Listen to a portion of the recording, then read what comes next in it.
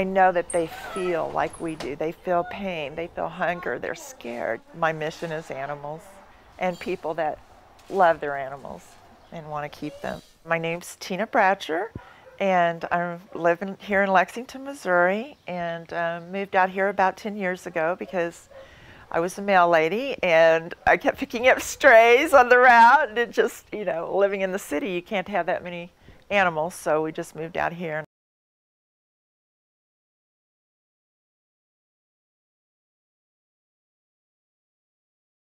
I can't feed my animals anymore. I've had people say that to me over the phone. When I have to choose between feeding my kids and feeding my animals, I have to feed my kids.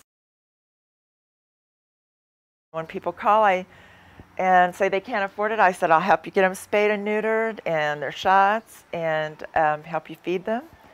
And if they will agree to keep them. So I have my rounds that I make uh, every day, various places feeding cats and uh, dogs. These are all broken bags that we get donated. This one isn't. I bought that one myself. People, you know, had to cut back on everything, and everything got more expensive. All the groceries got more expensive. It's hard to make it. Okay, I think this is the place we're going today. You want to carry that in?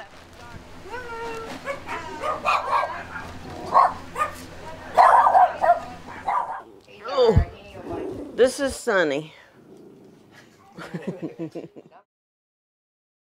I couldn't afford to buy him dog food. And the beans and rice I got from the church, and we didn't eat it, so I just fed it to the dogs so they'd have something to eat too.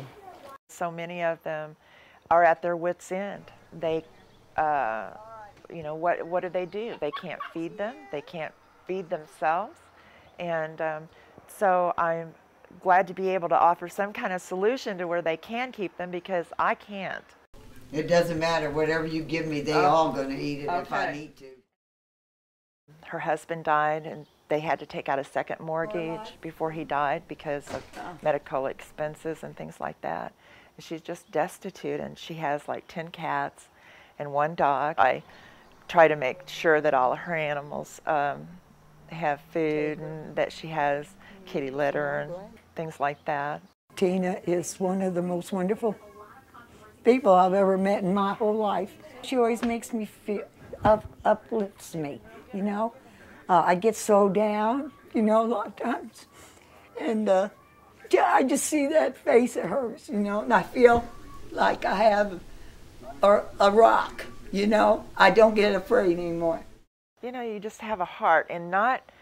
Um, there's people that like animals and have their own animals, but then there's people that have this heart thing going that you just can't. Somebody said, "Keep up the good work, Tina." Well, I don't have a choice, you know, it's because it's here, and you just have to do it. Tina, thank you, honey. Thank you for that. It means the world to them. I know it would be for me. And I'll say, don't you think it, don't you even worry about it. Because someday I might be in the same position and somebody's going to come and help me with all my animals. So don't you even think twice about it.